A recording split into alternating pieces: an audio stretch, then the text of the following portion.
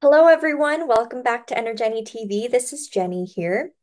Today, I want to talk about language, specifically the way that we talk about certain issues, specifically certain groups of people. Now, some of you may be familiar with the baseless claims um, about Haitian immigrants in the United States. But for those of you who may not be familiar, let me uh, summarize this issue very quickly.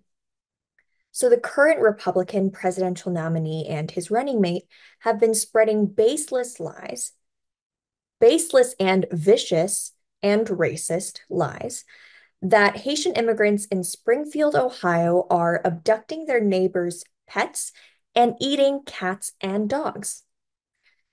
My first response was disgust. But sadly, I wasn't surprised that these two people were spreading these lies, especially because they were against uh, immigrants. Um, and this dog eating stereotype um, sounded very familiar to me because I remember even in elementary school, um, kids would ask me if my parents um, or if I ate dogs. So, you know, the dog eating stereotype has been used um, against Asian Americans um, for a very long time to belittle them. Um, and so I felt terrible that this was happening to Haitian immigrants in Ohio. Um, and I decided to create this video to emphasize the impact of these words and the sufferings of um, what Haitian immigrants are going through, um, even at this moment. So I read a couple of articles that talked about how Haitian immigrants are fearful of walking to the grocery store or going to church or going to school. They've received bomb threats and death threats because of this baseless lie. And I just want us to, you know, take a moment to really put our shoes into their shoes. What would it feel like if we are afraid to go to the grocery store, to go to church, to go to school because of a lie that someone decided to um, throw out against our community? What makes it okay for one human being to put a group of um, innocent people in such in a such vulnerable place and what makes it okay for them to make these groups of people to feel like that they are not enough and that they're they that they should be ashamed of their identity and their culture.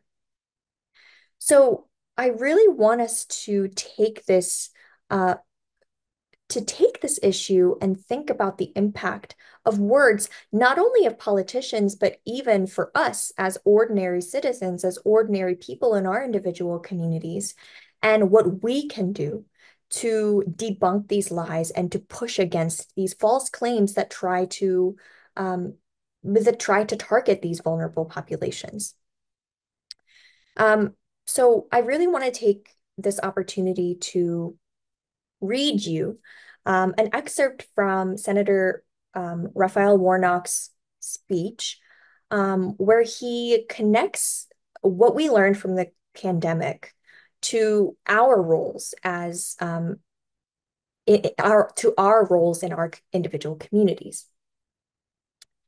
So, yes, I found it. Here's the quote. A contagious airborne disease means that I have a personal stake in the health of my neighbor.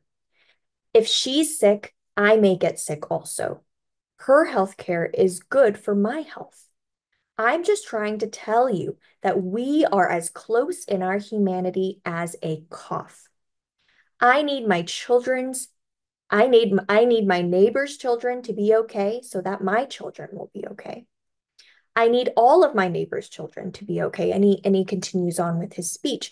But I think this is uh, an extraordinary lesson that we can take from this idea, the concept that we are not just, you know, individual beings just living in isolation, right? We are part of our community and we are partially responsible for the well being of others.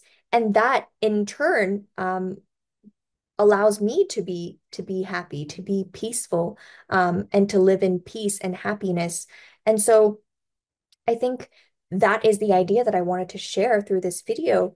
Um, is that we have a responsibility in our individual communities to really push back against these false claims that try to divide us. Um, and we have a responsibility to really care for another um, and really believe in the idea that we are responsible um, for the well being of others. So, um, I hope this conversation sparks more conversations about this issue. Um, and uh, I want to thank you guys for listening and watching this video today.